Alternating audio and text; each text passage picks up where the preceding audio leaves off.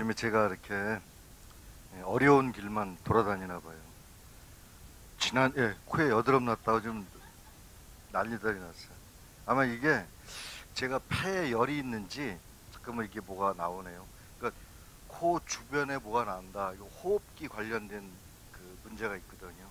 예, 뭐 여러 가지가 있겠죠. 또 봄에 어, 봄에 알레르기도 있고 그래서 재치기를 몇 번 하더니만 코에 이렇게 열이 뭐가 생기는지 또 이것도 정 가운데에 뭐 옆으로는 안 되든가 그것도 아니고 아주 정 가운데에 나더라고요. 그래서 아, 이 녀석이 나를 굉장히 존경하나 보다. 그 따지도 않고 일부러 놔뒀어요. 음, 잘 보관하려고. 예, 이- 제 얼굴을 볼 때 사람들이 이마를 보는 게 아니라 코만 보게. 예, 자꾸 코만 볼 거 아니에요. 그럼 얼마나 내가 어, 시선이 어, 어, 그렇죠. 모든 분들이 저를 또 쳐다볼 수 있도록 그런 것 같아요. 큰일 날 것 같아요. 예, 사실 오늘 그 조옥희 교수님이 안 나오셨으면은 너무 너무 크게 낭패를 보- 어, 봤는데 여러분들이 좀 감사하다는 마음으로 한번 박수 한번 부탁드릴까요? 예, 예, 예, 감사합니다. 우리 또 조옥희 교수님이 감사하시다고 꾸벅 절을 하셨네요.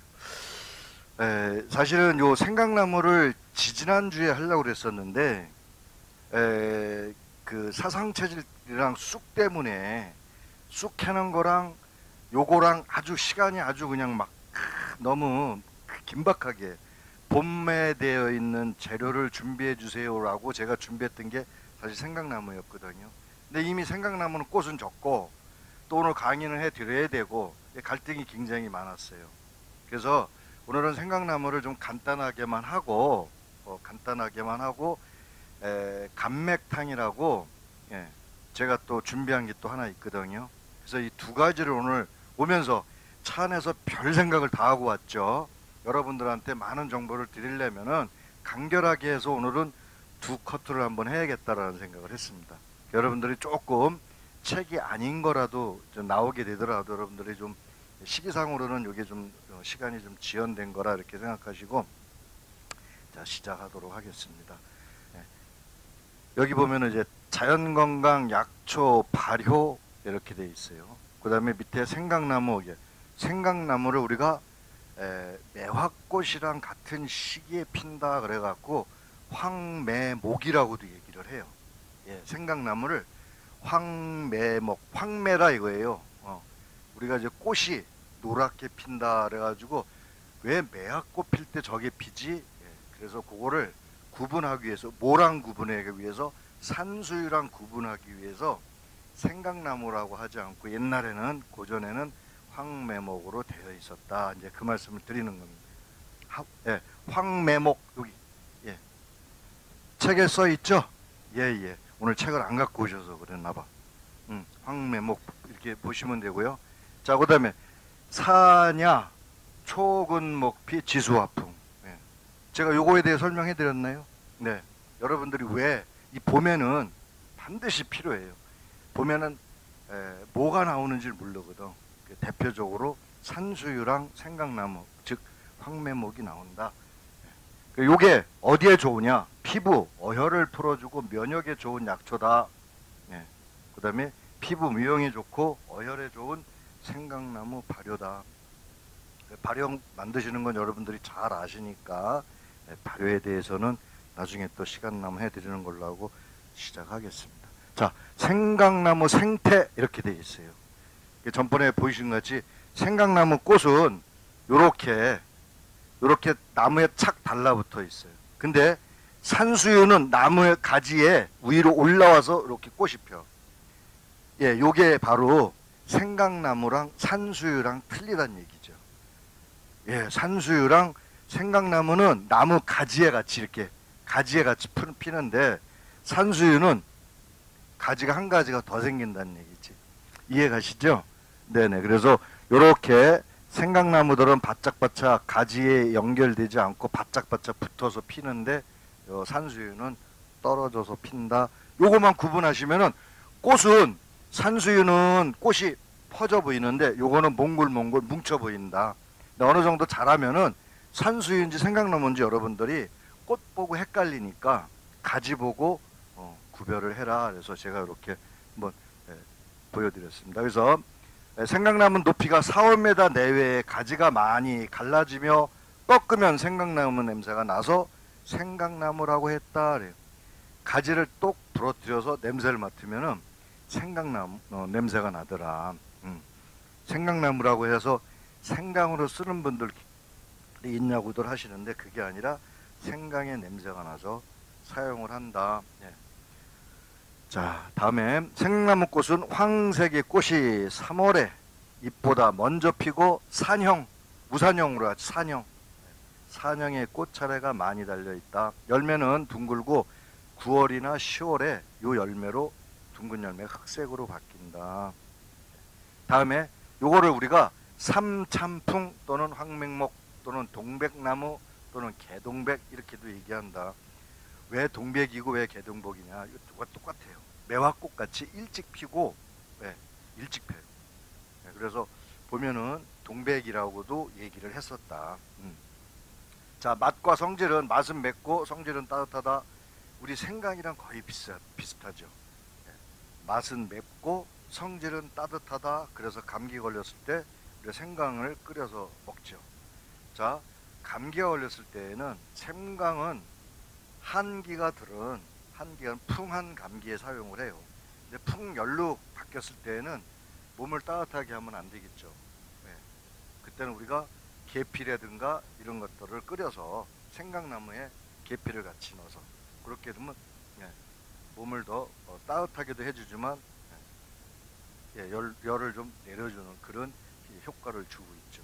그 다음에 거기에 더해서 기침을 했을 때 초기 기침을 할 때는 반드시 음, 도라지, 그다음에 진피. 지난 시간에 진피에 대해서 제가 말씀드렸죠. 네, 진피를 사용해서 쓰시고 그 다음에 그 기침이 오래 가고 저같이 코 주변이 벌겋고 눈이 벌겋 우리가 그 목적이라고 해서 눈 알이 벌겋게 열이 있으면 벌겋게 생기는 거거든요. 그러면서 기침을 오래 하면은 기관지염이나 폐에 열이 있다고 보는 거예요. 그래서 그때는 수세미를 사용해라. 수세미에 대해서 말씀드렸죠. 네, 그렇게 하면은 오래된 기침도 네, 거의 안 할 수가 있다. 음, 멈추게 할 수가 있다.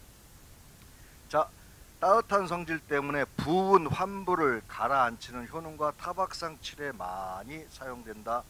성분 중에 붓기를 가라앉히는 성분도 있다. 그래서 예, 부은 분들한테 예, 쓴다. 다리가 붓거나 얼굴이 붓거나 예, 그런 분들한테 차식으로 여기에는 제가 차로 해서 드실 수 있도록 그렇게 이렇게 꽃을 따서 꽃을 차로 사용할 수가 있다.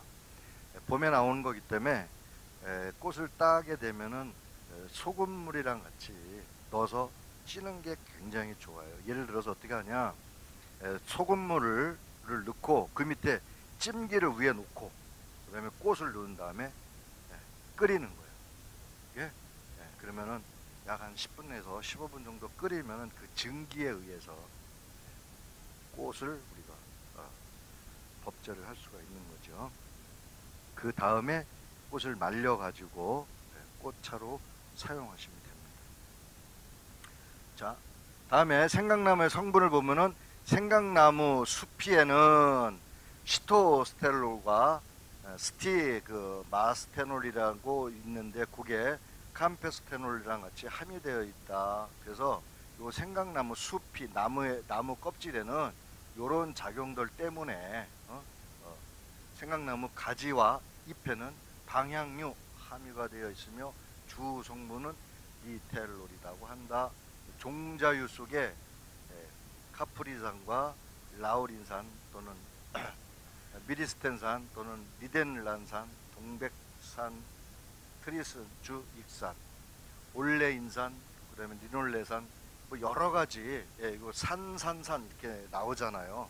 예, 산이라는 것은 신거를 얘기를 하죠. 그래서 이런 작용도를 하는데 이게 바로 방향류가 어, 같이 함유되어 있는 것이다. 네. 그래서 이런 것들은 강력한 항균 기능을 가지고 있고 또는 야자유 또는 호바 오일이 있으며 또는 항균 작용도 같이 해준다. 기능을 강력한 항균 또는 작용 같이 해주고 있다. 이 성분은 줄기, 껍질, 잎에 공통적으로 있는 성분이다. 예, 이건 열매고 그래서 봄에는 주로 이런 성분이 있는 것을 예, 꽃잎차로 사용을 하고 예, 꽃차나 또 잎차로 사용하고 가지나 이런 것들은 예, 예, 많이 올라왔을 때에 그 가지를 이용을 한다. 그래서 우리가 이 가지도 예, 굵은 가지를 쓰는 게 아니라 말 그대로 가지야. 우리가 목을 사용해 나무를 쪼개서 사용하는 게 아니고 가지를 사용하는 거예요. 그래서 가지 엷은 가지를 사용을 한다. 그래서 가지도 같이 나중에 꽃이 지고 나면은 어, 생강에 에, 여러 가지 효능이 따뜻한 어, 효능이랑 이런 것들을 같이 함유하고 있기 때문에 그거는 나중에 가지들만 잘라 가지고 사용할 수가 있다. 꽃이 피고 그 다음에 잎은 잎대로 따서 잎은 또 덮어줘야 돼 이거. 덕금 아시죠? 덮어주셔가지고 사용을 하죠. 덕금 할 줄 모르시면은 그냥 프라이팬에다가 살짝 볶으셔도 돼요. 예. 잎 놔두고 수저로 또는 나무 주걱으로 살살 이렇게 볶으셔가지고 사용할 수가 있어요. 뭐 시간은 약간 어, 어, 이파리가 바삭바삭 말릴 정도로 어, 이렇게 볶아주시면 돼요. 어떤 분들은 계속 볶아가지고 이파리가 부실어지도록 볶는 분들이 계시는데 너무 맛, 너무 바짝 볶으실 필요는 없고. 음. 자, 또 다음에는 한번 볼까요? 자, 이러한 성분이 피부에 쉽게 흡수되기 때문에 피부를 부드럽게 해주는 성분들이다. 주로 어, 많은 부분에 차지하는 게 정유 성분이다. 정유 성분을 가질 수가 많기 때문에 정유 성분은 날아가는 효능이 있어요. 그게 또는 날아가면서 가볍지만은 또 우리한테 흡수가 잘 되는 또 성분이 있고 그래서 어, 올레산은 동물과 식물에 존재하는 오메가 9 지방산이며 그다음에 올리브유에 많이 들어있다. 그다음에 불포화산이고 체내에 지방을 축적하기 되지 않기 때문에 동맥경화나 콜레스테롤 수치를 낮추고 간을 보호한다고 볼 수 있다. 생강나무는 붓기를 가라앉히는데 많이 사용한다. 그래서 우리가 이렇게 미인이 되고 싶을 때에는 이 생강나무를 많이 이용하라. 예. 네. 에, 차는 우려서 먹는 거고 나무는 끓여서 드시면. 차는 뜨거운 물을 끓여서 예, 꽃을 말른 꽃을 어, 소금으로 쪄 가지고 말려져 있는 꽃을 꽃 서너 개를 뜨거운 물에다가 넣어 가지고 또는 한 움큼 집어넣어서 물을 계속 부어 가지고 물궈서 드시면 되죠. 예. 마시기 가장 좋은 게 예? 어, 아니 그 저기 뭐야 푸- 우러 우러나는 거요. 우리가 한 모금 훅 끓잖아. 그 끄고 한 1, 2분 지나면은 10도 정도 푹 떨어져요. 90도 정도 돼. 그래서 8, 90도 정도. 그래서 집어넣고 나면은 또 물을 또 에, 따라서 넣게 되면은 그것도 한 10도에서 5도 이상 떨어지기 때문에 뭐 85도, 뭐 75도 정도 되겠죠. 그 물에 묽어지게 되죠. 끓는 물은 항상 여러분들이 조심해야 될 게 차를 운영하면서 막 끓자마자 바로 집어넣는데 굉장히 위험하거든요. 그래서 우리가 한 소금 식혀서 넣어라 이렇게 돼 있어요. 네. 우리가 뭐 한 소금 한 소금 그러는데 한 소금 식혀서 네, 천천히 따라서 넣어라. 그리고 양을 많이 끓이시면 안 돼요. 차를 드실 때.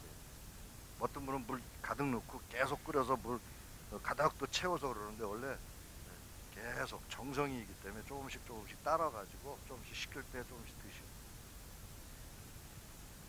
또 다음에는 생강나무 활용법은 나무 가지를 꺾으면 향긋한 향이 코를 간지린다. 네, 입을 손으로 비볐다가 냄새를 맡으면 좋은 향기가 오래도록 가시질 않는다. 그 향이 생강 냄새와 비슷하다고 해서 생강나무라고 한다. 네, 방향성, 향유를 뽑아낸다. 네, 이른 봄 매화보다 일찍 핀다.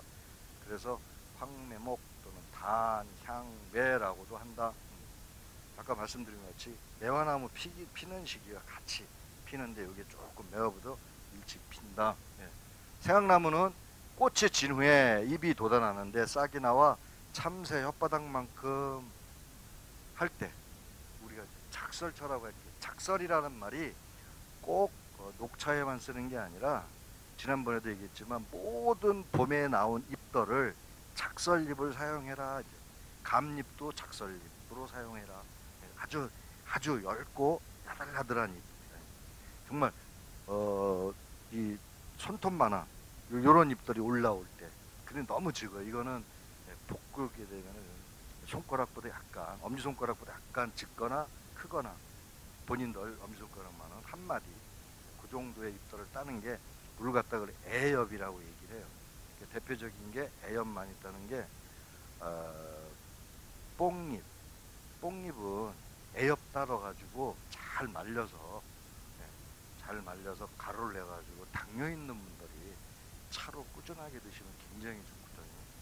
그래서 뽕잎을 그때 작설잎을 따라 그렇게 얘기를 한다 이죠. 그죠? 자, 예, 싹이 나와 참새 혓바닥만 할 때 말렸다가 차로 사용한다. 그래서 작설이란 이름을 붙여서 작설차라고 한다. 가을에 잔가지를 잘라 말린 것을 한방에서는 황매목이라고 하여 건위, 복통, 위장을 건강해 하고 복통, 배 아픈 것을 없애주며 해열, 열나는 것과 거담, 예, 담을 기침할 때 생기는 담을 예, 없애주는 걸로 쓴다. 피부병에 줄기를 삶아 그 물로 씻으면 낫는다. 그래서 요 어, 황매목은 생강나무는 가장 중요한 게 가지를 쓴다는 거죠. 네. 예, 우리가 봄에 꽃과 잎을 사용을 하고 예, 한여름이 지나서 가을에 초목에 들어가기 바로 직전에는 나무 가지들을 한 여름에 쓰는 것들은 이제 독성이 있다 그래갖고 잘 안 써요. 음, 이런 나무도 봄에 나오는 것들은 한여름에는 잘 사용하는 게 대표적으로 쑥이라든가 이런 것도 네, 일단 독이 생긴다 그래서 잘 안 쓴단 말이에요.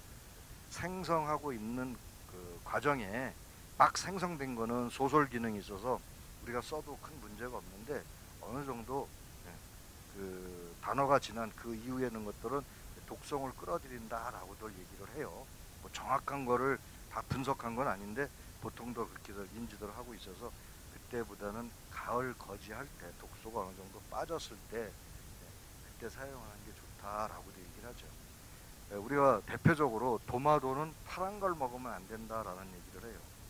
토마토는 반드시 빨갛게 익혀 먹어라. 그래서 우리가 파란 거 사서 저장을 하고 있다가 점점점 완, 예, 완전히 익을 때까지 기다려서 빨간 걸 사용하듯이 토마토는 푸른색 있을 때 가장 독성이 많다고 얘기를 하죠.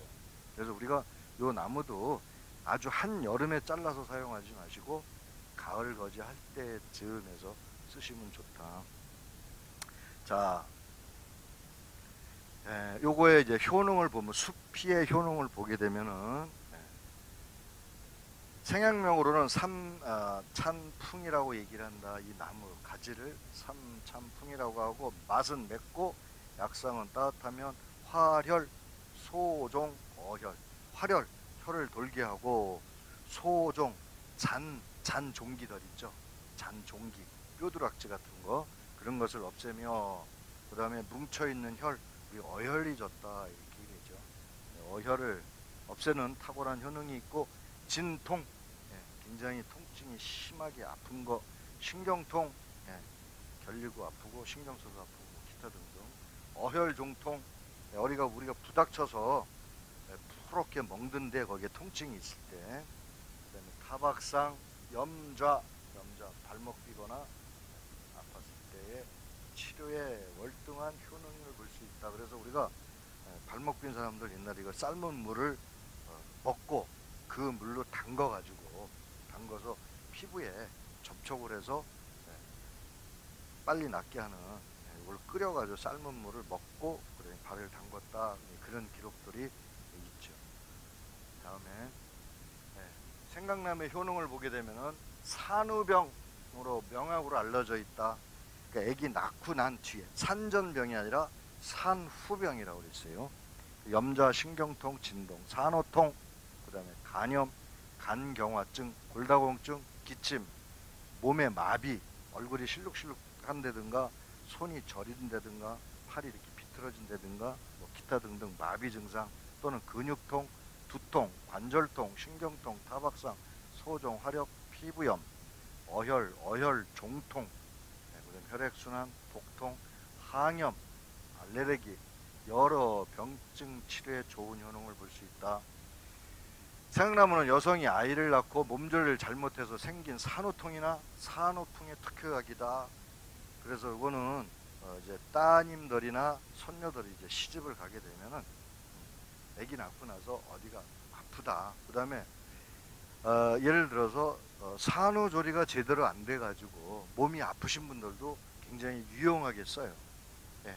너무 오래되거나 어, 그렇다고 해가지고 뭐 그게 낫지는 않다 하더라도 쓰시게 되면 어떤 분은 자기가 산후통으로 굉장히 힘들었는데 어, 애기 저기 몸조리 제대로 못해서 몸이 아팠는데 이거를 나무 가지를 삶아 드시고 나서 몸이 굉장히 좋아졌다는 분들도 계세요.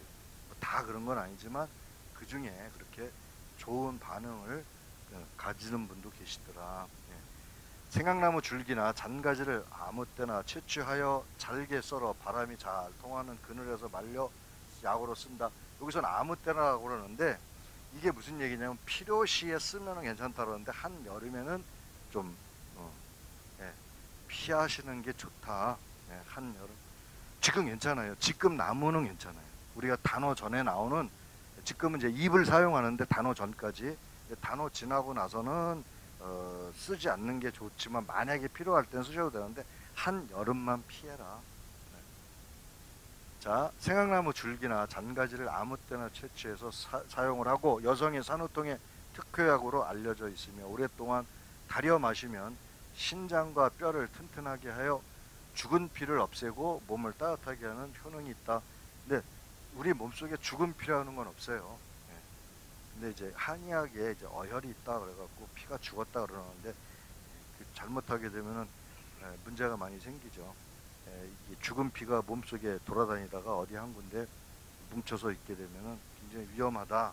그래서 뇌에 뭉치면 뇌졸중이 오고 심장에 들어가면 심장 마비가 된다 이런 말들을 하는데 사실은 그게 예, 고지혈증에 또는 우리가 어혈이 졌다는 것은 고지혈 환자라든가 이런 분들이 예, 머리나 심장병을 조심해야 될 이유가 바로 이게 어혈졌다 이렇게 표현된 곳에서 나타난다. 이런 것들을 어, 고지혈이라든가 치료하고 콜레스테롤을 없애주는 데 효용성이 있다 이렇게 보시면 될 것 같아요. 예. 자 다음 생강나무 달인물은 약간 매우면서 신맛이 난다. 아까 무슨 산 무슨 산 무슨 산으로 많이 이용되어 있던 게 바로 이런 신맛 때문에 그렇게 생긴다. 많이 먹어도 부작용은 없다. 생강나무 가지를 5 내지 70g을 물 한 대를 붓고 물이 반으로 줄 때까지 달여서 하루에 서너 번 300 내지 500cc 정도 식후에 마신다. 네. 또한 생강나무 줄기를 잘라서 30 내지 35도의 소주에 3, 4개월 우려낸 다음 마시면 생강나무의 특이한 향이 좋다. 생강나무의 어린 순이나 가는 줄기로 차를 만들어 마셔도 좋다. 예. 자, 지금 얘기한 것 같이 하루에 세 번 정도 마시는데 여기서 유, 어, 50에서 70g 정도의 나무 가지 또는 꽃을 예. 그러니까 봄에 요즘에 나오는 것을 잘게 썰어 가지고 예. 끓는 끓여서 예, 드셔라 이렇게 얘기를 하고 있어요. 근데 예, 물을 많이 넣어서 반이 졸이도록 하고 어, 그 양은 300에서 500 정도 써라 그러면 반주를 내면 500을 쓰려면 1000cc를 넣어야 된다. 굉장히 양이 많죠. 그래서 저희가 예, 꽃은 꽃대로 가지는 가지대로 원래 이제 꽃차를 하다 보니까 분리해서 써요. 원래 같이 써도 상관없지만 분리해 있어요. 그래서 꽃차는 울궈내서 울궈서 드시고 가지는 끓여서 드시는데 꼭 반 이상 졸일 필요는 없어요. 우리가 우르륵 한 15분 내지 20분 정도 우르륵 끓은 다음에 불을 줄여서 그다음에 한 3, 40분 정도 끓이게 되면 충분히 울거나거든요. 그래서 그렇게 끓여 드시는 게 더 좋다. 반 줄인다고 자 대고 반 줄이셨다가 홀라당 태워 드셔. 그러니까 그렇게 하지 마시고 후루 끓으면은 좀 졸인다는 식으로 불을 줄여 가지고 졸이시면 돼요. 졸음의 시간이 길면은 길수록 반 이상 줄일 수도 있고 불 뜨겁게 해놓고 크게 켜놓고 계속 졸인다는 생각까지만 안 되시니까 항상 불은 열 옅은 불로 조절하시면 될 것 같아요. 자 다음에 생강나무는 손발이 저리고 시린 여성 예, 손발이 시린 분들한테 좋다 그러는데 여기 오래 먹어도 괜찮다 부작용이 없으니까 괜찮다 그러는데 오래 드시지 말라는 건 제가 항상 강조하는 말씀이니까 한 달 드시고 열흘 정도 쉬었다가 드시고 또 3일에 한 번씩은 쉬어줘서 꾸준하게 드시는 거는 상관이 없다라는 말씀. 그거 상관없어요. 네, 우리가 교통사고만큼 타박이 심한 증상이 없어요. 교통사고는요, 에, 앞자리에 타서 머리 받은 사람들이 굉장히 많거든요. 또 뒷자리에 또 앞자리 그 의자에 머리 받는 사람도 많고 그러고 바깥으로 앞자리 탄 사람 안전벨트 안 매면 바깥으로 튀어나가는 경우도 있어요. 특히 이제 버스 같은 데에서 한번 넘어지면 크게 또 다칠 수도 있고요. 교통사고 났을 때. 근데 그걸 갖다가 우리가 의골이 졌다고 그래. 근데 시- 우리가 촬영을 하면은 MRI를 찍어도 신경에 아무 이상 없어요. 하다못해 뼈에도 이상이 없어. 근데 이상하게 몸이 아프기 시작하는데 3 내지 일주일 지나면 얼굴이 붓기 시작해. 팅팅이 보여. 아무 이상 없어. 내가 교통사고 나서 다쳐가지고 병원에 갔는데 아무 이상 없다고 퇴원하래. 근데 가고 나서 3일에서 길게는 한 일주일 정도 지날 때부터 얼굴이 붓기 시작해. 몸도 그때부터 아프시는데 언제까지 아파요? 평생 아픈 거예요. 평생 아픈 거예요. 자, 제가 죄송한 얘기인데 제가 이제 어렸을 때 운동을 많이 했어요. 뭐 권투도 하고 태권도도 하고 뭐 운동을 많이 했는데 그때 어릴 때 주먹으로 주먹으로 샌드백이라고 있죠. 여기 동그랗게 나오게 하려고 굳은 살 베기면 옛날에 손 피면 어 주먹 세게 생겼다. 옛날에 우리 학교 다닐 때 그랬거든. 그래서 맨날 때리면 진짜 여기가 굳은 살이 베껴가지고 동그랗게 돼요. 그러면 진짜 싸움 잘하는 사람 같이 보이는 거야. 그리고 막 점프도 막 이제 태권도 하고 막 그러니까 막 2m 3m 날라다니는 거지. 그러다 보니까 발목을 가끔 다쳤거든요. 점프 뛰다가 떨어질 때 조심해야 되는데 한 번 뛰면 아 며칠 지나면 괜찮고 괜찮고 그랬어요. 근데 지금 이 나이가 되니까 온몸에 마디마디 아픈 거예요. 그리고 발목이 아파갖고 이런데 계단에 올라가고 내려갈 때 무지무지하게 불편해. 지금 지금 나이에 그러니 앞으로 내가 최소한 못 살아도 4, 50년을 더 살 것 같은데 내 욕심이지만 어떻든 그러면은 이 몸 갖고 지탱할 수 있을까라는 걱정이 되는 거예요. 이게 무슨 얘기냐? 그때 이 손 다쳤던 게 요, 요런데 손가락 마디마디를 이렇게 펀칭을 하다 보니 다쳤을 거 아니에요. 지금 이렇게 손, 손을 이렇게 쥐지를 못한 거예요. 그래서 병원을 갔더니 손 마디마디, 온 마디, 발목 이 마디가 다 관절이 관절염이 심하다는 얘기죠. 내가 어디 가서 농사 짓는 것도 아니고 막일하는 것도 아니고 매일 강의만 다녔던 사람이 손에 내가 무슨 관절염이 오겠냐고 이유가 그거예요. 어렸을 때 그렇게 몸을 함부로 했던 거예요. 나이를 먹으니까 이제야 몸이 맛이 가는 거죠. 그래서 우리 어머니도 연세가 드시니까 93세거든요. 몸 이렇게 구부려 주셨어. 허리도 이렇게. 그 허리가 왜 그래 가만히 있으니까 옛날에 그 무거운 거 허리 못 피고 무거운 거 들고 부엌에서 운물 있는 데까지 이거 이거 펌프 있는 데까지 매일 들고 왔다 갔다 하셨다고요. 뭐 그릇 같은 거 씻으려면 그런 거. 우리 또 어린 놈이 좀 엄마 좀 도와주면 좋은데 맨날 엄마가 하는 일이니까 하시나 보다 그렇게 생각을 했지 누가 그날 그 연세 되시니까 이제 온몸이 아프시더라고요. 여러분들도 젊었다고 해가지고 몸 함부로 하지 마시라고. 웬만하면은 시켜 누굴 시키든 시키라고요. 나는 요즘에 손바닥도 이렇게 누르면 손바닥도 아프고 일어나면은 온몸이 아프고 아, 옛날 같지 않아요. 여기 연세 드신 분들 계시는데 정말 죄송한데 그래도 여러분들이 한 살에도 젊었을 때 심하고 힘든 거는 될 수 있으면 안 하시는 게 좋을 것 같아요. 그렇다고 너무 노시는 것도 그렇잖아. 적당히 하시라는 얘기죠. 음. 자, 그래서 어, 어깨가 아프고 뻐근함을 호소하는 사람, 관절통 고생하는 사람 등이 먹으면 큰 효과가 있다. 근데 이거를 좀 먹어야 되는데 먹지를 못한 것 같아요.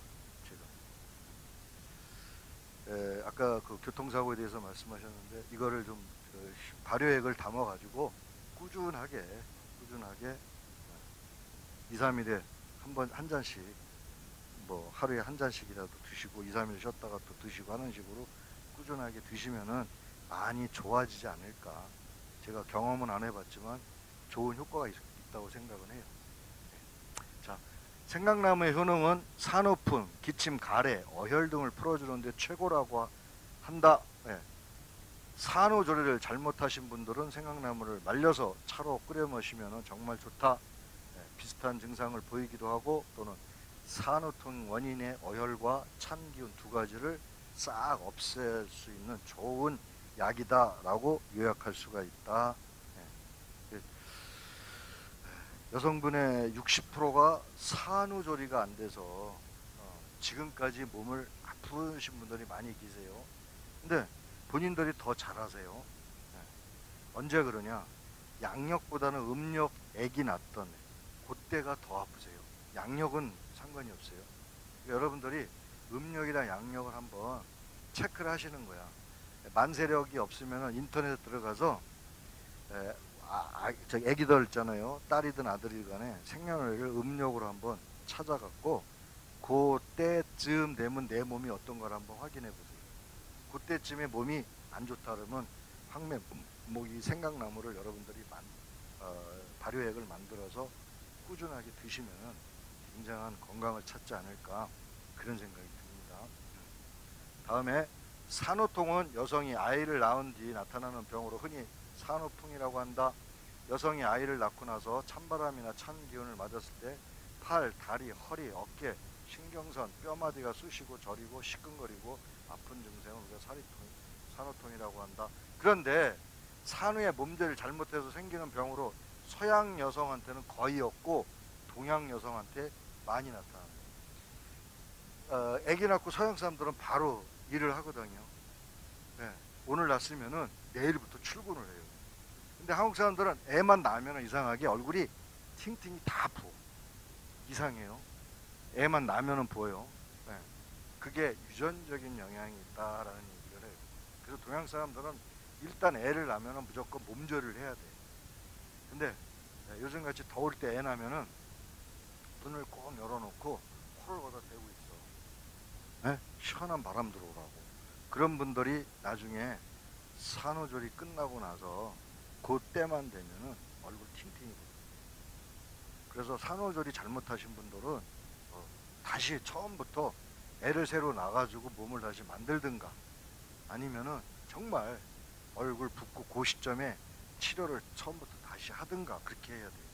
근데 그냥 또 지나가요. 바쁘다는 핑계로 또 뭐 이 정도는 견딜 수가 있으니까 그러고 넘어가시는데 그래서는 안 된다. 그 말씀을 드리고요. 특히 우리 한국 사람이나 중국 사람들도 어 그냥 일 바쁜 사람들은 애 낳고 한 3일만 지나면 바로 일들 나가거든. 근데 우리 한국 사람들은 3, 7회를 꼭 지내야 돼. 21일을 20하루를 산후조리를 반드시 해야 되는 게 원칙이에요. 근데 외국 사람들이 요즘에 중국에 제가 아, 지지난주에 이제 중국 갔다 왔는데 요, 그, 요즘에 이제 한국의 산후조리원을 그대로 리모델링을 해가지고 중국에서 지금 그대로 하고 있거든요. 전국적으로 하고 있는데 재밌는 게 프로그램이 굉장히 많아. 그래서 초유 먹이는 방법부터 시작해서 어, 산후 그 아기 난 그 산후 어, 조리원에서 그 어, 산모들한테 요가부터 시작해서 마사지 하는 방법 이걸 한국이랑 똑같이 선풍적인 인기예요. 제가 가서 이제 교육도 하고 또 애기 전 먹이는 방법 그다음에 전 마사지 하는 방법 이런 것들을 제가 이제 교육도 하고 그러는데 어떻든 그 아기를 잘못 안아가지고 우리 한국 사람들이 애기 엄마들이 손목 아프고 팔 아프고 그 잘못 수유할 때 잘못해서 요즘에는 수유 벽에라는 걸 갖다 놓고 예, 하고 있죠.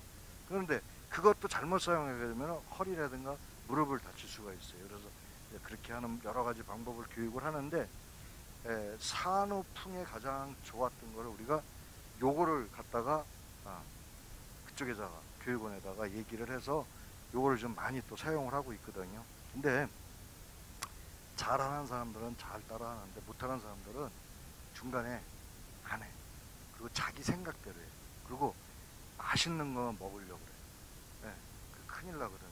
그래서 우리가 산모도로 무조건 미역 무조건 먹이는 이유가 있고 그다음에 21일 동안 반드시 몸 관리를 할 수밖에 없는 그런 상황이라는 거. 지금 아마 이제 그게 동남아시아 지역까지 캄보디아나 베트남까지도 저희들이 이제 에이전시랑 같이 교육을 하려고 지금 우리 한국 산후조리요법을 전 세계로 지금 알리고 있거든요. 근데 굉장히들 어, 잘들 하고 있고 고마워들 하고 있어요. 그러니까 여러분들이 아기를 만약에 어, 딸이나 며느리가 오면은 진짜 잘해줘야 돼요. 그래서 몸이 어, 붓거나 또는 아프지 않도록 그렇게 해야 내 후손들이 잘 되지 않을까라는 생각을 해봅니다. 자, 서양 여자들은 자궁이 매우 튼튼하여 아이를 쉽게 낳고 산후조리를 거의 하지 않는다. 우리나라처럼 아이를 낳고 나서 미역국을 먹는 일도 없다. 동양 여성과 체질이 다르기 때문이다. 따라서 서양 의학에 산후통이나 산후풍이라는 병이 없다. 그 사람들은 예, 산후통, 산후병이라는 게 없는데 문제는 뭐냐면 신경통이랑 관절통은 있어요. 왜 그러냐? 에, 우리가 제가 아까 어, 학교 다닐 적에 이렇게 펀치를 사용해서 지금 관절이 왔다고 말씀드렸죠. 근데 아기를 낳게 되면 자궁에 자궁이 벌어지기 시작해요. 네, 굉장히 많이 벌어지거든요. 에, 에, 얼만큼 벌어져요? 아기 머리가 나올 수 있을 만큼. 근데 그게 어, 아기 나올 때는 벌어졌다가 수축을 해요. 그래서 딱딱한 부분이 머리가 나왔을 때 그때는 벌어졌다가 목 정도 가서는 이게 다시 또 오므라지거든. 어깨가 나와야 되는데 아기가 만약에 하늘을 보고 나오면 그래서 위험한 거야. 산모가. 아기가 머리가 땅을 보고 이렇게 나와줘야 어깨가 쪽 빠지거든요. 근데 하늘을 보면 어깨가 걸려. 그래서 아기가 여기에 목에 걸려요. 엄마 자궁에 여기 목이 걸려갖고 굉장히 아주 위험한 상황까지 오죠. 그러다 보면 그때 이제 산모랑 아기랑 같이 죽는 경우가 많아. 그래서 그때는 이제 뭐 이미 나와 있는 거를 제왕절개 할 수도 없고 그때 수술할 수밖에 없어. 그래서 산모는 자궁 드러나고 아기 하나 낳고 자궁 드러나니 뭐 어떻게 해요? 아기 다시 임신을 못할 거 아니에요. 거기에 대한 또 회의감도 있고 그러죠. 그래서 우리가 이제 그렇게 위험한 상황이 오지 않도록 하기 위해서 자꾸 산모를 운동을 시키는 거예요. 배를 어, 마사지하는 방법 그렇게 하는데 이 황매목이. 아기 낳기 전서부터 황매목으로도 산후조리를 해주는 뼈를 부드럽게 해주기 때문에 뼈를 튼튼하게 만들어주기 때문에 그렇다. 자 일반적으로 산후통은 날씨가 흐리거나 비가 올 때 또는 공중에 있는 습도가 높을 때 예, 그다음에 까, 어, 굳은 날 일기예보병이라고도 한다. 할머니 할아버지들이 몸 아프다 뭐 비 올 때가 된 것 같다 이렇게 얘기하는 거 다 관절에서 오는 거 뼈에 대한 신호거든요. 이제 황매목이 좋다. 날씨가 맑을 때는 아무렇지 않다가 날이 되게 되고 온몸에 뼈마디가 견딜 수 없이 쑤시거나 저리거나 찬바람이 나는 것 같이 살이 예, 찬물이나 바람에 닿으면 마비가 되는 것 같이 저리는 증상. 여러분들이 꼭, 꼭, 어, 아픈 사람들만, 산후풍만 있어가지고 이런 게 아니라 혹시 에, 아기를 안 낳은 젊은 처자들도 몸이 안 좋은 사람들 보면 몸이 차가워서 그러는 거거든요. 그래서 부모가 몸이 차면은 딸도 거의 몸이 차다고 봐야 돼요. 그런 애들이 있으면은 미연에 방지하는 식으로 이렇게 해서 주게 되면 굉장히 좋다. 차로 또는 끓여서. 그래서 어, 뭐 평생 먹을 건 아니더라도 많이 따뜻해지면 쉬었다가 다시 또 어, 주기적으로. 저는 항상 한 달 먹고 열흘 쉬고 한 달 먹고 열흘 쉬고 3개월을 한 다음에 그 다음에 한 달 정도 쉬었다가 다시 또 한 달 먹고 열흘 쉬고 한 달 먹고 그런 식으로 저희 그 외손녀가 굉장히 큰 외손녀가 있어요. 저도 장가 일찍 갔지만 저희 딸도 굉장히 결혼을 해서 저희 외손녀가 굉장히 커요. 그 녀석이 조금만 어디 아프다 그러면 제가 어 여러 가지 이제 한약재를 주는데 걔는 어릴 때부터 그렇게 먹여서 그런가 잘 조금만 이렇게 뭘 해서 한약 뿐만 아니라 이렇게 여러 가지 그런 것들을 해서 주게 되면 잘 나. 예, 그것도 아프면은 뭐뭐 해서 또 주면 또 잘 나. 그러니까 그런 것도 어, 내성이 있어서 어, 치료가 안 될까라고 생각했는데 어쨌든 인간요법으로도 치료가 잘 되는 부분이 있더라라는 말씀을 드리고 싶고요. 그 여러분 한번 어, 예, 여러 가지 병원 치료해도 잘 안 나시는 분들은 요게 찬물을 갖거나 그 다음에 찬 곳을 닿거나 할 때 아프신 분들은 황매목을 한번 사용하시면 좋겠다라는 말씀 드리고요. 다음에 네, 신경통이나 관절통, 디스크, 출산 뒤에 땀을 푹 내어 출산 때 생긴 죽은 피나 독소를 밖으로 내보내지 않으면 그것이 그대로 몸 안에 남아 신경선이나 관절에 모여서 염증을 일으킨다. 사실 이거는 이제 그 우리 한의학적으로 말씀을 드리는 건데 예, 의학적으로는 뼈 마디에 어혈이 되어 있거나 그러진 않아요. 이제 한의학적으로 그런 말들을 많이 하죠. 그래서 이제 어, 허리가 아픈 것도 여기에 어혈이 돼서 어혈이 져서 어혈이 져서 허리가 아프다. 허리만 여기 허리 뭐 1번부터 시작해서 5번까지 어떻게 아프느냐에 따라 어, 통증이 어디로 오느냐 다리로 오느냐 바깥으로 오느냐 아이 앞쪽으로 오느냐 여러 가지 허리에 이제 여러 가지 병이 오게 되는 또는 척추의 모든 병 때문에 허리도 아플 뿐만 아니라 어, 신경통으로 몸 전체가 아플 수 있고 또는 경추 때문에 팔, 다리 여러 가지 영향이 있을 수도 있고 전체적으로 신경에 어혈이 껴서 그런 게 있다라고 이렇게 지금 얘기를 하고 있죠. 여러분들이 허리 아프거나 엉덩이 시큰거리고 그다음에 어, 자궁 때문에 어, 골반이 아프거나 또는 고관절 우리 고관절 아프게 된 여러분들이 그런 말 하죠. 환도가 아프다, 환도가 시다. 이게 바로 이게 산후풍 때문에 그런 거예요. 이게 바로 환도가 시다고 얘기했던 게 이런 부분들. 여기 우리가 이제 예, 엉덩이 여기 고관절 옆에 여기서부터 엉덩이 뼈 3분의 1, 3분의 1 나눠가지고 이쪽에 엉덩이 뼈 있는 이 고관절부터 시작해서 여기 꼬리뼈 있죠. 여기 딱 재서 3분의 1씩 나누는 거야. 그래서 이 바깥쪽 3분의 1 여기를 갖다가 환도 또는 환조 그래서 환도시단 말이 여기가 아픈 걸 한 엉치 아픈 거를 환도시다고 얘기하죠.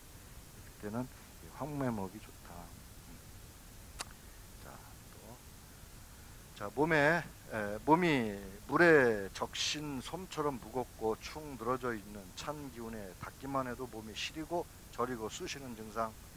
생강나무 꽃 이른 봄에 가장 먼저 핀다. 우리 선조들이 꽃이 피고 난 뒤에 도단하는 새순을 따서 차로 우려 마셨다. 네. 아까도 이제 덕금을 말씀드렸고 차로 드시면 좋다라고 말씀을 드렸어요. 자, 뭐 이거는 저 뒤에 있는 얘기 아까 아빠 얘기했는 거랑 뒤에 있는 거랑 거의 비슷하게 계속 반복적으로 나오는 거라 이게 또 새로운 얘기 또 몇 가지 외에 또 없는데 우선 여기까지 하고 제가 이제 약속드린 것 같이 이제 하나 더 말씀드리는 걸로 그렇게 할게요. 요거는 산후병에 좋고 몸이 혈액순환이 제대로 안 되거나 몸 차신 분들 그런 분들한테 좋으니까 그다음에 관절통 이런 통증에 굉장히 좋다.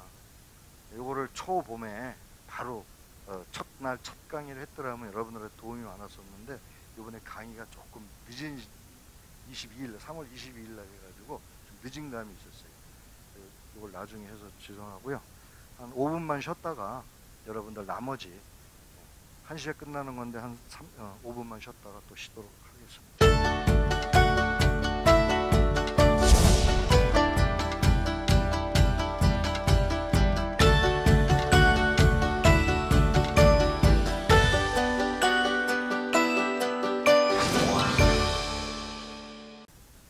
자, 다시 시작하도록 하겠습니다. 어, 지금 우리 선생님이 생강나무가 만병통치약이네 그러셨는데 사실 맞습니다. 예. 그래서 생강나무는 일부러 어, 어떤 분들은 지금 우리 선생님이 금방 생강나무 인터넷 봤더니 수피를 별도로 파네요라고 얘기를 해요. 껍질 네, 수피라고 그래요. 나무 수, 나무 가지 수야. 가지 지자도 있지만 나무 숫자란 말이에요. 가로 수할 때 쓰는 그 숫자인데 그 껍질이 굉장히 좋다는 얘기야. 나무 가지 껍질 네, 수피라고 얘기해요. 나무 가지도 좋지만 껍질도 좋다. 자, 음, 네.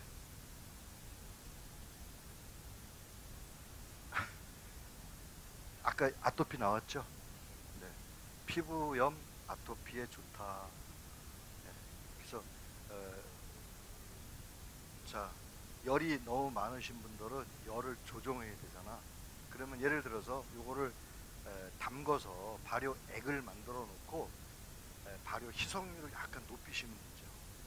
꾸준하게 드실래면. 네. 여러분들이 어, 차 요법을 하셔도 좋고 그 다음에 요거를 예, 발효액을 만드셔도 되고 가지 같은 경우에는 시럽 만드는 법 전번에 말씀드렸죠. 설탕 1kg에 물 500cc. 그쵸? 예, 물 500cc. 설탕 1kg에 물 500cc. 물을 끓이고 끓인 물에 설탕을 넣어서 녹인 다음에 예, 식혀서 붓는다. 됐죠?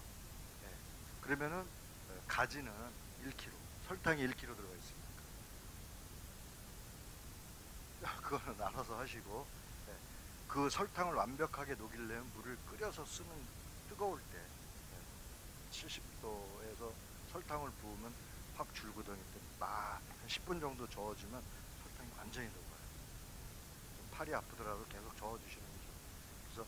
그래서 에, 예 끓여서 그래서 나무가지 1kg에 설탕 1kg, 물은 1kg 반, 예? 1kg에 반이니까 500 에, 500g이라고 얘기를 하자고요. 물에 예. 그렇게 사용하시는 거예요. 자, 아까 설탕 5kg, 그 다음에 설, 예, 5kg 예, 1대1로 하고 예, 물은 2.5리터 정도 넣으시면 되겠죠. 예. 이거 뭐 질량 따지고 부피 따지고 그러면은 골치 아프니까 여러분들 쉽게 머리에 기억하기 쉽게 이렇게 해드리는 거예요. 그렇게 하고 쑥을 넣으셨는데 예, 뜸팡이가 떠서 매일 건져내도 계속 뜸팡이가 생긴다 이렇게 얘기를 하시네요. 어쩔 수 없이 매일 저어주셔. 매일 저어주시고 지금 쑥도 어떤 분은 뜸팡이 안 뜬 분도 계시죠. 네, 어떤 분은 그렇게 뜨는 분이 있어요. 네, 힘들어도 그분은 네, 아마 하나님께서 매일 일하시라고 그러신 것 같아요. 그러니까 어, 안 뜨신 분들은 그나마 행복하신 거지. 저어주시고 만약에 내년에 만약에 수고를 하시게 되면은 시럽을 만들어서 하시는 방법. 쑥 3kg에 설탕 3kg에 물을 1.5kg 정도를 가지고 비누에 넣어서 이렇게 재면 돼요. 그래서 시럽 물을 끓여서 설탕 아까 3kg를 넣고 녹인 다음에 그걸 부어 주셔도 돼요.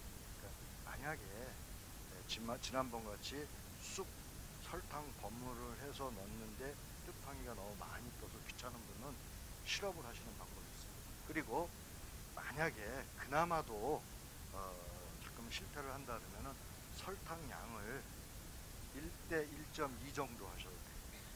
1대 1.2 정도. 만약에 5kg 한다 그러면 설탕은 6kg를 넣으시면 되죠. 근데 설탕이 많으니까 여러분들이 이건 뭐 설탕 덩어리 아니냐 그렇게 얘기를 하는데 드실 때 희석을 하시니까 절대 설탕물은 아닐 것 같아요. 그렇지만 실패는 안 한다는 얘기죠. 원칙, 예, 원칙을 따지려면 1대1이 좋고, 그 다음에 발효를 좀 빨리 시키려면 1대 0.8, 1대 0.6으로 하셔도 돼요. 여러분들이 하시다 보면 선수가 돼서 조절을 하시는 거예요. 요즘에는 요즘 가장 중요한 거는 집에서 저는 이제 한번 매실이 곧 나와요. 매실이. 네, 매실이 나올 때에 여러분들이 황매를 하는 것보다는 청매가 좋아요. 황매는 익어가지고 부유물이 누렇게 뜨거든요. 네, 뿌옇고 그러니까 어떤 분들은 뭐 상한 거 아니냐 그러는데 절대 상한 건 아니에요. 황매보다는 청매가 좋고 치료 효과도 청매가 좋아. 근데 예, 예, 이제 어떤 분은 황매가 좋다고 하는데 청매가 좋다는 거 일단 말씀을 드릴게. 네? 근데 에, 청매는 산도가 높기 때문에 황매는 산도가 약하거든요. 그래서 황, 예, 산도가 약하니까 이게 좋다라는 분이 계시는데 치료할 때는 황매, 어, 청, 청매로 많이 쓴다. 그 말씀을 드립니다. 됐죠? 음, 나중에 또 유용한 정보를 드리도록.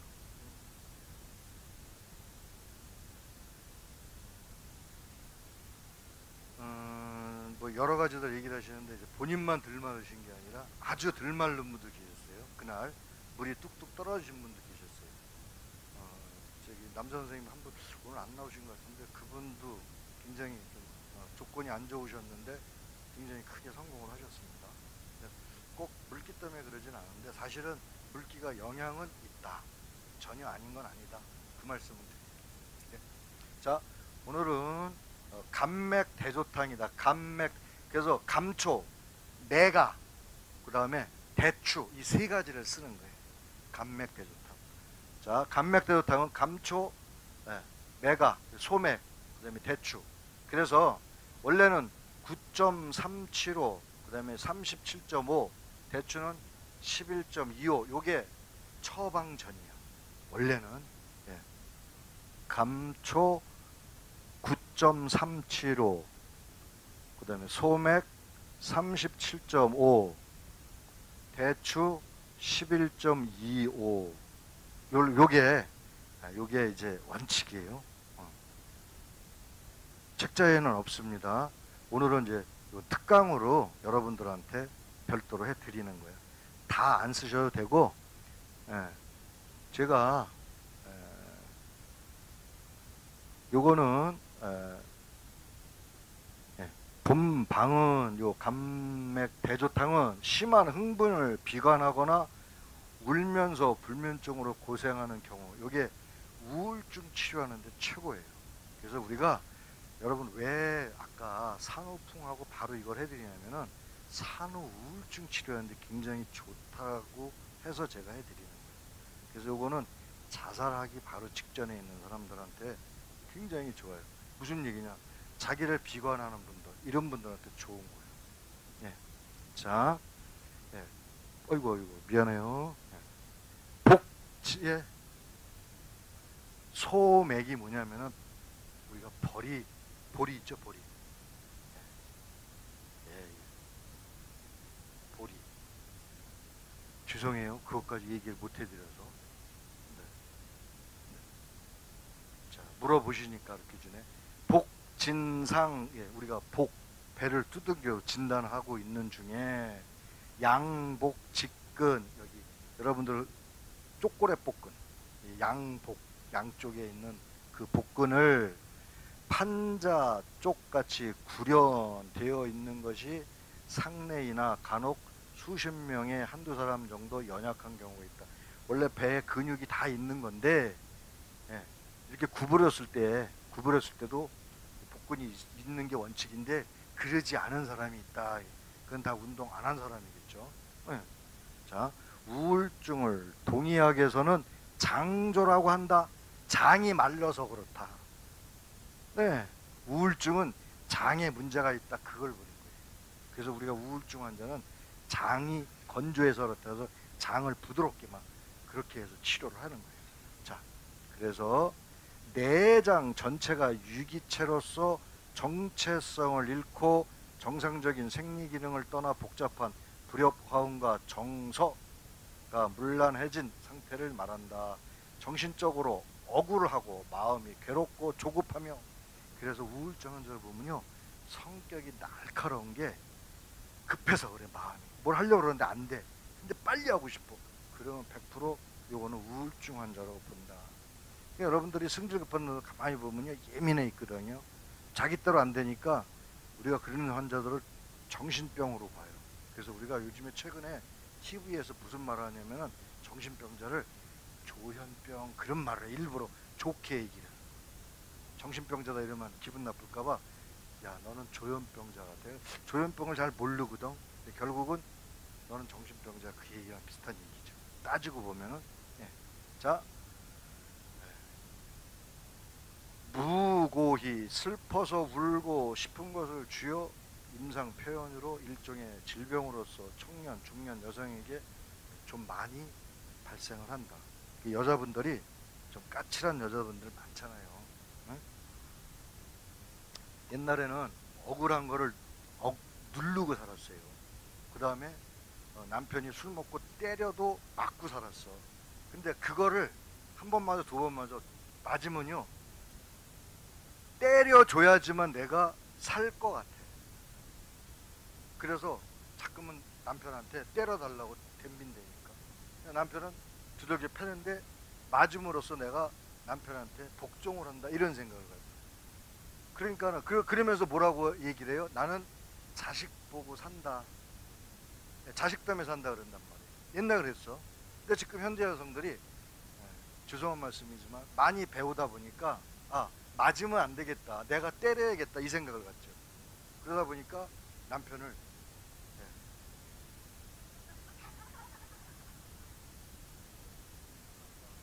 그래서 이제 여자를 비하한 말은 아니고요. 여성분들이 맞는 게 길들여져 있어가지고 무슨 말만 하면은 어, 저 남자가 나 때리려고 그러는데 내가 잘해야지.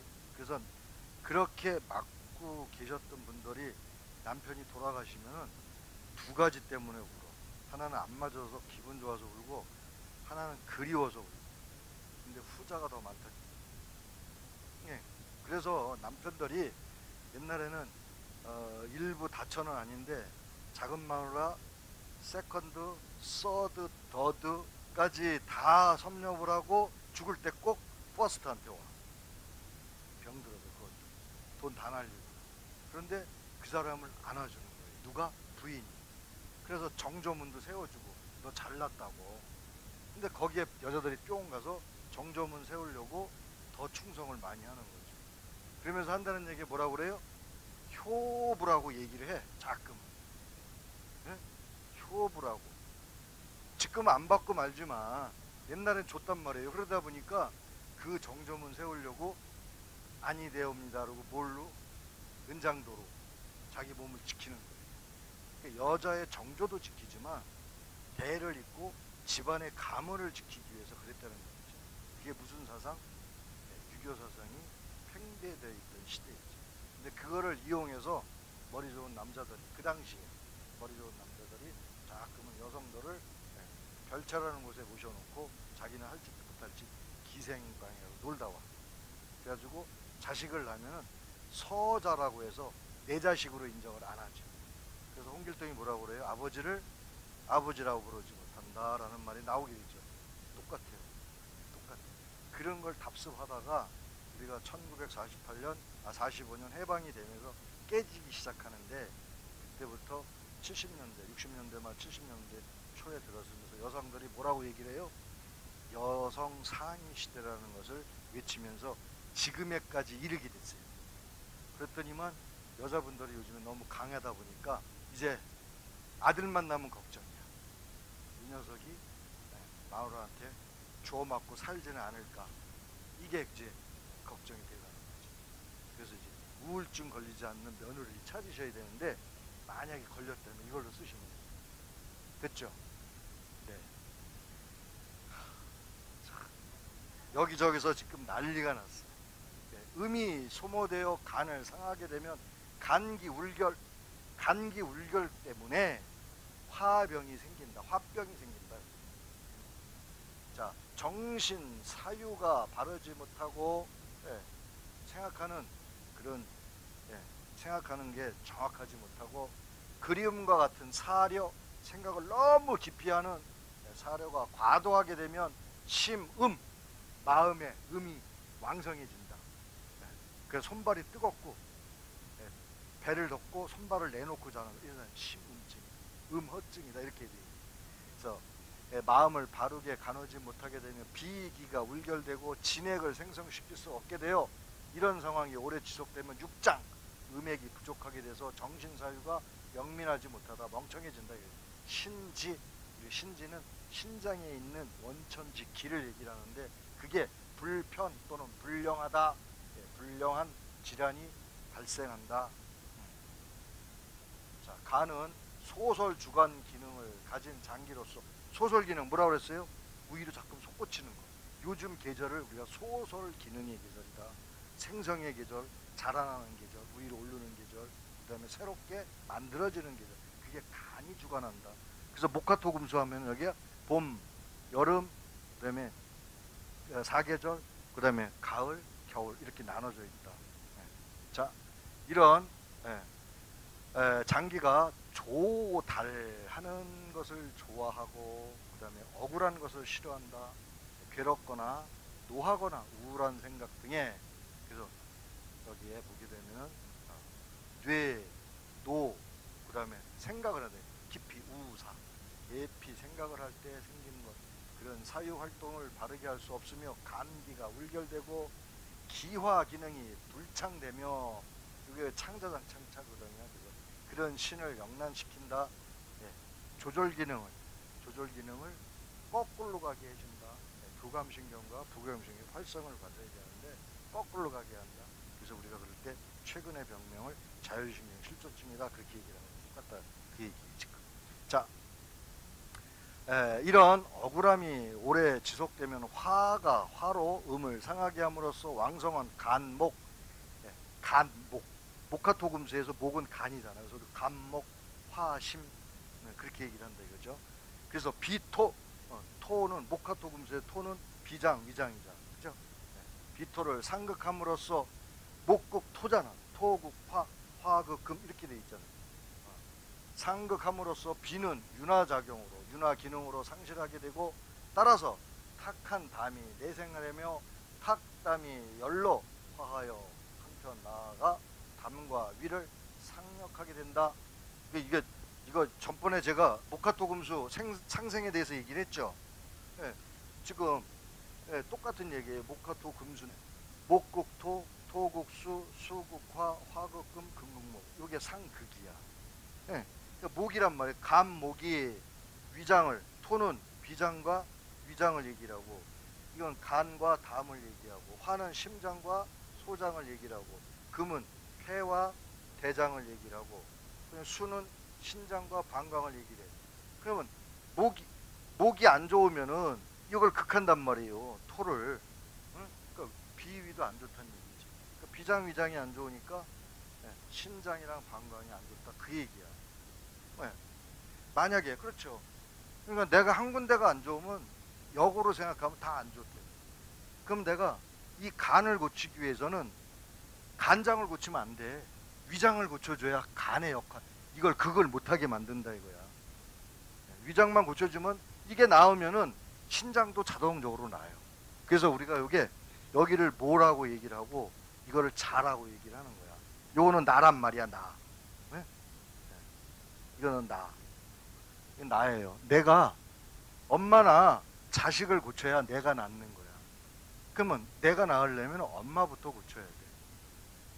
그래서 내가 심장이 안 좋으면은 간 때문에 내가 안, 아니 위장이 안 좋다 그러면 내가 간 때문에 안 좋다. 열 받아 있는데 밥 먹을 수 있냐고요? 얹히지. 예, 그런 그래서 비위를 고치면은 간과 담을 고칠 수 있고 신장과 방광을 고칠 수 있다. 그런 얘기를 지금 하고 있는 거거든요. 그래서 우리가 제가 항상 얘기한 것 같이 목화토 금수, 목화토 금수, 그래서 간과 담, 여기는 뭐 심장과 소장, 비장과 위장, 그 다음에 폐와 대장, 여기는 어, 심장과 방광. 예. 요게 바로, 어. 여기 어, 동쪽이에요, 이게. 동, 남. 그 다음에 여기는 중앙이야. 중앙. 그 다음에 여기는 서, 여기는 북. 동남서부로 되어 있어요. 동쪽은 즉 여름이란 얘기. 아, 봄. 그 다음에 남은 여름. 그 다음에 여기는 우리가 사계절이야. 환절기. 계절이 바뀔 때마다 있는 환절기. 여기는 환절기라고 해요. 환절기. 그 다음에 석은 여기는 어, 가을. 여기는 겨울. 그래서 우리가 항상 요 기능들이 있듯이 예를 들어서 목에 문제가 있다는 봄의 기운이 약하다. 그러면 목이 문제가 있는 것은 금을 고쳐주면 돼. 폐에 열을 빼주면은 간의 열도 같이 내려준다. 그럼 이거의 자식은 뭐예요? 토. 어. 요게 엄마. 요게 자, 아니 요게 엄마, 요게 자식이야. 그래서 요렇게 이 상극 관계와 그다음에 오행 관계를 여러분들이 알게 되면 상생은 상생은 도는 거 아니에요. 네? 네. 목생화, 화생토, 토생금, 금생수, 수생목 이렇게 도는 게 이거는 생이야.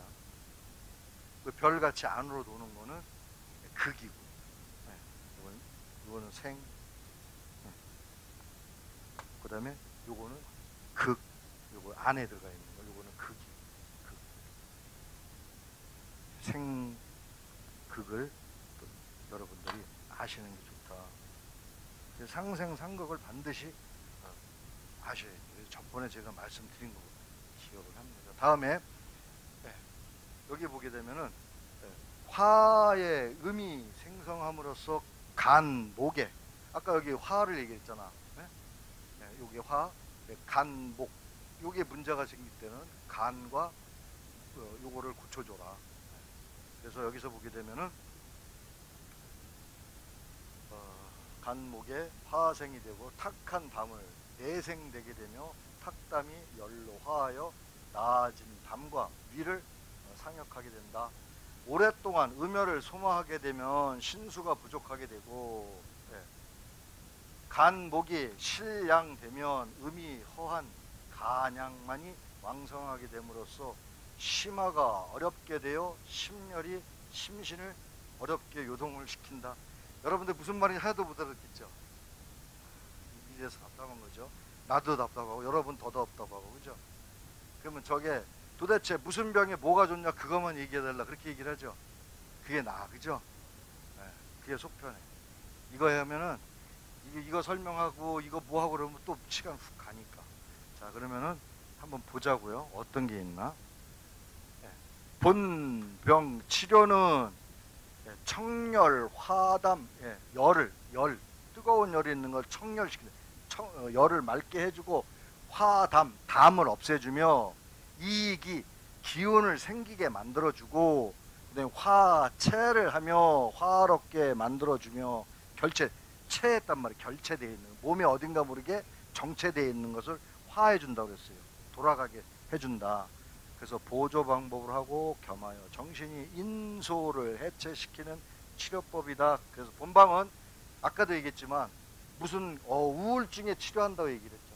본방은 예, 부인과 소아과에 쓰이는 경우가 많으나 남자들은 대체적으로 쓸 경우가 드물다. 주로 무슨 누구한테 쓴다? 여자한테 쓴다. 어떤 병? 히스테리, 자궁, 경련, 위경련, 신경쇠약, 우울증, 정신분열, 전간. 전간은 뭐예요? 미친병을. 응? 네. 불면증, 소화 야제, 소화 야제. 아기가 어, 밤중에 울거나 고채거나 예, 오줌을 싸거나 그다음에 무답병, 무답병. 우리가 혹시 무답병 그러니까 무당이 여기서 나와. 예, 이유 없이 몸이 아픈 병, 이유 없이 신병, 예, 신병, 예, 이유 없이 신이 예, 시- 신이 나한테 뭐 귓속말로 뭐라 그러더라, 아기를 죽이라 그래서 죽였다 그러잖아, 그렇죠? 근데 여덟 살이 됐는데 올해 걔를 조사해 보니까 출생신고인데 내가 학교를 안 왔어. 그러니까 엄마가 아기 태어나서 2년 만에 아기가 무당병 귀신이 들렸다고 걔를 죽인 거예요. 신문에 나왔잖아. 그쵸? 예. 그게 얼마나 무서운 얘기야. 그런 사람을 이거를 매겨야 되는 거야. 진작 나를 찾아왔으면 이걸 매겨서 그걸 없을 텐데 우울증 그것도 우울증이란 말이에요. 우울증. 예? 무당집 별래 다 도네. 무당이 그러니까 무당질도 잘해야 돼. 여러분들이 만약에 무당이 어떤 분이 될지 모르지만 혹시 되는 분이 있으면은 양심적으로 무당질을 하시라고. 무슨 얘기인지 알겠죠? 예. 몰라 누가 될지 40이 될지 50이 될지 누가 무당 될지 몰라요. 젊어서 아기 때부터 무당 되는 사람이 있고 나이 먹어서 할 일 없으니까 무당 되려고 가서 또 무당 배우는 교습소가 있어. 예, 소개시켜달라면 소개시킬 수 있어. 요 시흥에 한분 있어. 시흥에 저기 거모동에 내가 잘 아는 무당이 있어요. 예. 근데 무서워 내가 아주 잘해. 근데 내가 무섭다니까. 예, 내가 무서워서 못, 못 가는. 예. 자, 양리를 보게 되면 감초, 소맥, 대추로 나눠지는데 진정, 감초는 진정, 완화, 진통, 진경, 해독, 교미 또는 약효 강화 등의 작용을 한다. 소맥은 간, 혈을 보호하면서 재번열, 몸속에 있는 여러 가지 열들을 지갈, 지갈, 예, 예, 몸속에 있는 갈증을 멈추게 해주는 작용을 한다. 대추는 자양 강장제로서 진정과 완화 작용을 한다. 그렇게 얘기를 해요. 자, 히스테리에 통용되는 방제이며 에, 히랍어로서 히스테리는 자궁이라는 뜻이다. 히, 히스테리라는 말은 히랍어로 여성의 자궁이다 그 뜻이라는 얘기예요. 예. 오늘 하나 또 배워갖고 왔죠. 그죠? 음. 예, 히랍어로 히스테리. 네. 자, 예, 더불어 경련증에도 쓴다. 어떻게? 자궁에 경련이 일어날 때 여성분들이요. 예, 혹시 혹시 미주알 빠진다는 거 들어보셨죠?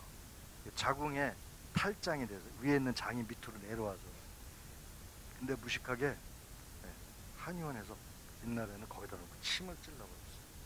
오므라 들으면 일시적으로 들어가긴 하거든.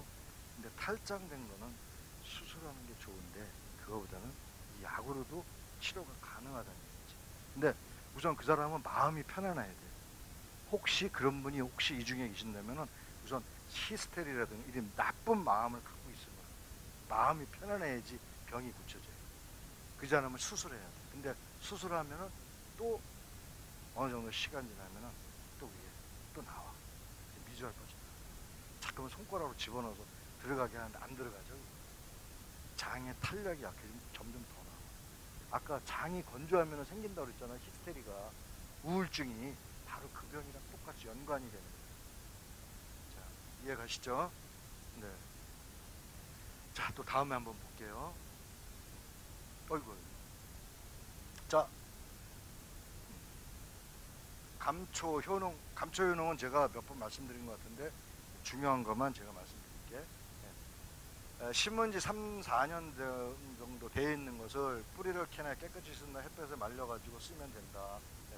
근데 요거는 통증 및 경련을 제거하는 데 사용된다. 감초는 주성분이 글리실리진으로 분해되어 있기 때문에 피, 어, 부신 피질 호르몬 작용과 코딘종과 같은 항염 작용을 한다. 근데 감초는 오래 먹으면 어떻게 된다고요? 혈압이 오른다고 그랬어요. 그 안 먹으면 다시 혈압이 내리고. 그래서 심장 위기능 강화에 또는 신호에 사용하고 건이 소식, 예, 소식 이거는 소식이라고 해서 적게 먹는 게 아니라 많이 먹은 걸 소화를 시키는 예, 이게 소화 소자거든 소화기 할 때 쓰는 거예요. 소화를 시켜주는 소식 작용과 건의 작용, 위를 튼튼하게 하고 지혈 작용의 효능이 있으며 궤양 치료에 효과가 좋다. 위궤양이 있거나 장 기능이 안 좋거나 할 때는 좋다. 청열 해독 작용으로 모든 열증에 쓴다. 소염 작용을 하고 에, 진해 화담에 좋다. 자, 다음이요. 5분만 더 하고 끝내겠습니다. 경련성 통증을 완화시키는데 심장이 약해서 가슴이 뛰고 험액이 나타난 경우에는 구감초, 감초, 구감초, 볶은 감초를 써라 해요. 생감초 쓰지 말고. 예, 감초도 법제에서 쓰는 거예요. 그냥 생감초 쓰는 거 아니에요. 생감 또 구감 구감초 또는 이제 초감초 뭐 초해라 써라 초해서 초감 구감 이렇게 똑같은 얘기죠. 볶아서 써라 구워서 써라. 그래서 생지왕 맹문동 대추를 가미해서 뭐 당삼과 같이 삼에 오삼이 있어 다섯 가지 삼 인삼 당삼 예? 그 다음에 봉삼 그 다음에 또 뭐가 있어요 사삼 예? 마지막에 뭐 좀 뭐가 있을까 예? 단삼이라고 단삼. 단삼. 굉장히 인삼보다 더 좋아 원래 혈액순환 안 되고 고혈압 환자 이런 분들한테는 단삼이 최고예요. 예. 인삼을 먹- 먹지 못하는 사람은 단삼으로 가요. 그래서 우리가 오삼이라고 해요. 다섯 가지 삼을 쓴다. 자 뭐가 있어요? 인삼 단삼 봉삼 사삼 또 무슨? 맨 마지막에 인삼 단삼 봉삼 사삼 맨 마지막에 예? 당 당삼. 당. 자 인터넷 지금 두던겨 봐요 얼른. 오삼 치면은 다섯 가지의 삼 오삼 두던겨 봐요 다 나와. 자 위궤양 12장 궤양의 감초 그 다음에 당삼 또는 백출. 여기 당삼이라고 얘기하죠. 단삼 당삼. 이 당삼 때문에 오삼 얘기를 한 거야. 예. 건강과 배 앞에서 상복한다. 상복 항상. 항상 먹는다. 예, 매일 상자. 자 유선염. 유선염. 예, 젖에 문제 유방에 문제 있는 사람. 예, 포공용 지정처 포공용은 뭐예요? 민들레. 예, 예. 자 모든 외과적인 창상 창상 골마 있거나 가려웠거나 창 예, 창 부스러기 부스럼. 부스러기가 아니라 부스럼. 예. 이럴 때에는 금은화 연교 생지왕에 쓴다 금은화는 기침할 때도 굉장히 좋아요 알레르기성 기침에 굉장히 좋아 금은화 하나는 금꽃 은꽃이 같이 펴 금색과 은색이라 예. 예, 인동초 얘기를 하죠 예. 예, 금은화 인동초로 자 감기 초기의 해수에는 전호, 전호, 그다음에 길경, 길경이 뭐예요? 도라지야. 행인, 행인은 뭐예요? 은행나무 씨. 예, 이제 인자, 자자 그런 게 들어갈 때는 씨를 얘기한다. 예? 예. 자, 위통에는 감초는 급한 통증을 잠시 억눌러주는 효능을 가지고 있고 위경령이나 궤양에 인한 통증을 참기 어려울 때 말린 감초 10g에 물 300cc를 넣고 달여서 마시면 통증을 멈추게 한다. 자, 위궤양은 내가 넘어갈게요. 네. 자, 네. 네? 뭐예요? 위궤양 해줘요? 네. 궤양이 있으셔? 자, 위궤양은 감초와 오족골, 오족골이 뭐예요? 오징어 뼈. 예, 갑오징어. 옛날에 그거 많이 썼어. 지혈작용에 많이 썼어요.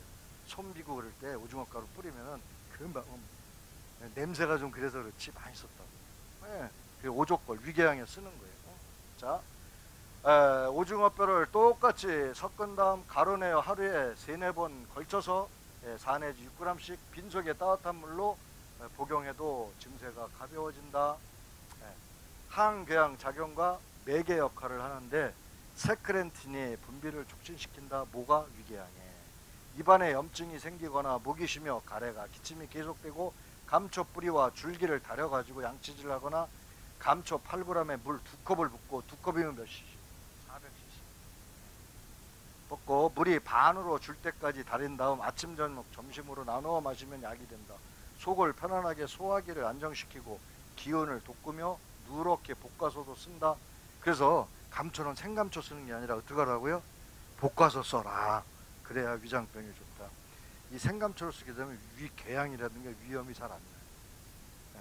그거는 독을 제거는 해줘. 치료가 약해. 그래서 우리가 생감초 쓰는 건 주로 몸속에 있는 독소를 빼주거나 약들, 약을 그 독한 약들 있을 때는 그냥 생감초를 써요. 볶은 거로 쓰시는 게 좋다는 얘기지. 근데 생감초도 나쁘지는 않아요. 어떤 사람들을 생감초를 또 쓰냐면은 전번에 얘기했나 농약 뿌리다가 온몸에 노, 농약 그 마비됐다 가지고 그 아줌마 어, 먹고 저기 내가 어, 5g만 먹으라니까 50g 해가지고 많이 먹었고 신장을 버렸다고 몸 팅팅이 벗다고. 그렇게 생감초를 그냥 쓰게 되면 그런 부작용이 올 수가 있다니까. 원래 그런 부작용이 오지 말아야 되는데 그때는 볶은 걸 쓰면 돼. 그, 그렇지만 그 제독도 돼요. 근데 확률이 조금 이제 빠지지. 뭐 10%가 빠지라든가 자 입안에 창이 생길 때 쓴다. 예, 따뜻하게 데운 우유를 붓고 죽처럼 개어 발라도 좋다. 이때 꿀을 조금 넣으면 훨씬 좋다. 이런 거는 이제 갈아가지고 분재로 해서 꿀 넣어가지고 사용하는 방법을 얘기를 하죠. 자 다음에 약물이 중독됐을 때 누렇게 볶은 구감초와 검정콩을 함께 달여 마시면 신통한 효과를 얻는다. 술을 담가 마셔도 좋다. 감초술은 좋은데요. 감초술은 좋은데 너무 많이 마시면 굉장히 안 좋아요. 얼굴 많이 보여요. 그래서 이거는 병 치료용으로 사용하시는 거죠. 다음에 잘게 썰어 말린 감초 100g에 소주 1.8리터를 붓고 햇빛이 들지 않는 서늘한 곳에 2, 3개월 보관해 두었다가 마신다. 감초에 단맛이 있으므로 다른 약술처럼 따로 설탕을 넣지 않아도 된다. 약술에는 우리가 꿀을 타서 드시는 분들도 계시거든요. 네, 너무 써가지고 이거는 감초는 그냥 다른 술이랑 같이 희석해서 드셔도 좋다. 그런. 자, 에, 밀가루 거꾸로 얘기하자면 내가 에, 오가피주를 했어. 근데 오가피주가 떡더럼하고 좀 맛이 좀 술 말 그대로 술이야. 그러면 거기다 감초를 넣고 같이 먹어도 좋다. 그 얘기. 네? 뭐 한 1대, 아까 5대 1 정도 비율, 한 20% 비율 정도 넣어서.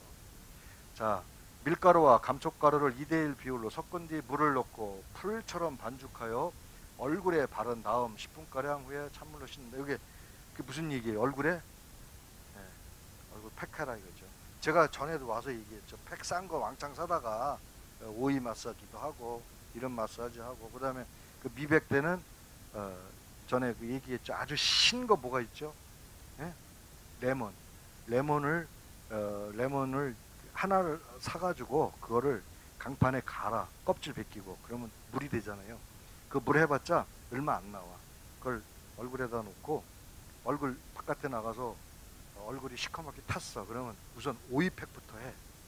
오이 오이를 강판에 갈아서 즙으로 얼굴에 그뭐 마스크 팩 얹어놓고 그 오, 오이즙부터 바르고 오이즙 꾸덕꾸덕 말릴 때쯤 돼서 네, 레몬 달아놓은 걸로 바르기도 얼굴이 하얗게 진정돼서 예? 미백이 돼. 예, 그거를 매일 같이 하시면은 저녁 때 자기 전에 매일 같이 하면 얼굴이 매일 하얘져. 나중에 흰둥이 돼 흰둥이. 예. 나중에 흰둥이 돼서 알아보지 못하면 안 되지. 자, 예, 요거는 기름, 아, 저 뭐야, 어, 주근깨, 그다음에 기미에 쓴다. 아, 여드름에도 좋은데, 예, 나랑 관계 없어요. 지금 나랑 관계 없다고 이제 책가방 싸시는 거예요. 예, 나랑은 관계 없지만 내 딸이나 며느리 또는 어, 부인, 애인한테 음, 그건 이제 알아서 하시는 거고. 자, 여기 보면 항염증, 항혈소판 효능에 좋다. 예. 녹내장을 개선할 수 있으며 그 녹내장에도 좋고 그 다음에 항바이러스 곰팡이 효능이 있다. 그래서 항곰팡이 곰팡이를 없애는 방법. 예. 그다음에 금기 사항은 만성 간염, 담즙성 간 질환, 이렇게 간에 병 있는 분들은 예, 좀 어, 조심을 해라. 뭐가? 예? 뭐가? 감초가. 예. 예, 고혈압도 여기 보면은 장기간 복용해서 칼륨 혈증, 고나트륨 혈증, 부종, 부종 얼굴 붓는다고 얘기했잖아요. 고혈압, 심장계 기능 부전 등이 일어날 수 있다. 그래서 부작용은 감초에도 있다 그. 예. 소맥, 소맥은 예, 굉장히 많이 쓰는데 예. 항산화로서 노화 방지, 성인병 예방에 중요한 역할을 하고 영양소가 있으며 필수 지방산의 세포 탄력성, 혈중에 있는 콜레스테롤 축적 방지 또는 호르몬 형성, 신경, 피부, 모발, 생식 기능 건강에 필수 불가결한 게 굉장히 좋다 이렇게 얘기되어 있어요. 그래서 여러분들이 아까 생강나무가 만병통치 같죠. 또 소맥도 이거 보면은 만병통치. 소맥 굉장히 좋아요. 그래서 우리가 겉보리들 많이 쓰잖아 옛날에 겉보리 갈아서 쓰고 네. 소맥이 바로 보리거든요. 그러니까 네, 겉보리 옛날에 우습게 알았는데 지금은 우리 몸에 너무 좋다는 거. 아, 예. 그래서 소식 소식한다. 배 기능을 원활해서 가스를 또 없애주고 그런 게 바로 소맥이. 다음에 생리활성 작용으로서는 간, 뇌, 시, 상, 하부의 노화가 진행되며 자율신경 실조증 제가 항상 자율신경 실조에 대해서 많은 얘기를 하거든요. 요즘에 모든 병은 자율신경 실조에서 온다. 그래서 교감과 부교감 신경을 활성시켜주는 게 소맥에도 굉장히 많이 들어있어서 좋다. 그 말씀 드립니다. 그래서 에, 정선을 자극시키며 그다음에 성중추의 예, 쇠약을 억제시키는 게 바로 아, 소맥이다.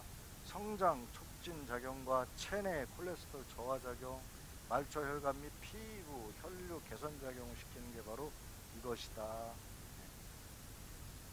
다음에 이건 양리 작용이기 때문에 여러분들이 크게 이제 중요하지 않고요. 인간은 폐업을 통하여 얻는 산소 43%의 생체 세포와 산화 방지를 사용하는데 천연 비타민 E라고 그랬어요.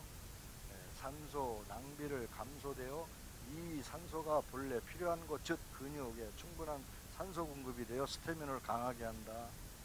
혈액순환을 촉진시키고 건강미를 증가시키고 미소혈관의 혈전을 방지시키며 동맥경화의 예방을 시켜준다. 자, 뒤에는 많은 게 있는데 요 마지막으로 적응증만 보시고 마치도록 하겠습니다. 적응증은 동맥경화, 뇌졸중, 고혈압, 심근경색, 간질환, 그다음에 갱년기 장애, 근 위축증, 공해병, 손발저림, 노화방지 등이 있는 것으로 연구되어 있고 변비, 빈혈, 불면, 사고력 저하, 건망, 각기, 자율신경 실조, 동맥경화, 만병, 피로, 견통증에 사용을 한다. 자, 오늘은 두 가지가 다 만병통치약이다 이렇게 생각을 하실 거예요. 그래서 이거는 남성보다는 여성한테 좋다 이제 그 말씀 드리고요. 아까 생강나무는 산후풍에 좋고 그 산후풍에 의해서 우울증 오시면 반드시 요거를 같이 해줬으면 좋겠다 그 말씀을 드립니다. 에, 예, 제가 중요 부분을 발췌를 해가지고 어, 제가 메일로 우리 그 어, 대표님한테 메일 번호 저한테 넣어주시면은 제가 어, 메일로 대표님한테 넣어드릴 테니까 예? 아니, 밴드에다 올리면 안 되고 제가 이거는 강의 자료들 너무 많이 돌아다녀요. 여기 또